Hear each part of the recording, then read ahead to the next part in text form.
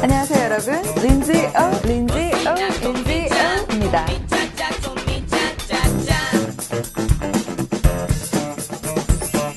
여기에 다섯 가지 문제 유형 복도로 굉장히 출제 빈도가 높습니다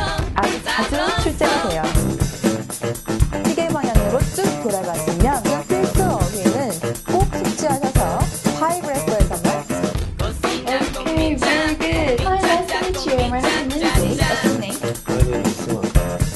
서로 한글을 얘기했기 때문에